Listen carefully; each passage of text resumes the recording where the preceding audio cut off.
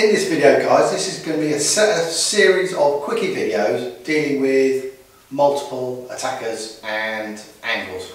We've called it the double tap, so Callum's going to be nicely here for me and my other opponent, the ever deadly Kev. I have this nice distance between the two.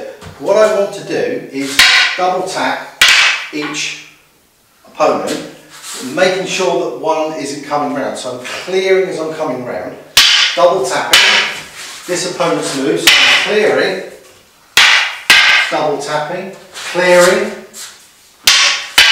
It doesn't matter what the attacks are, I'm making sure there's space between them and I'm keeping that space by doing my clearance swings.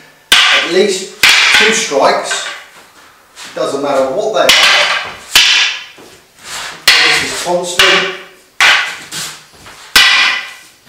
motion. And that's what we're aiming for. This is part one and it's just small feet, big cane swings, keeping the area around you clear so you can deal with two people. If they come at me at the same time on the same angle, it's going to be a different kettle of fish. As we do all of these things and we increase the intensity, here's something you want to be doing at the end of all your techniques. So I'm going to do my double tap, I'm going to clear, but I'm always going to be checking what's around me. He may not be the only person, there may be more than Kev, there may be people coming in around you, so never just go, aha, you're finished with, I can relax now.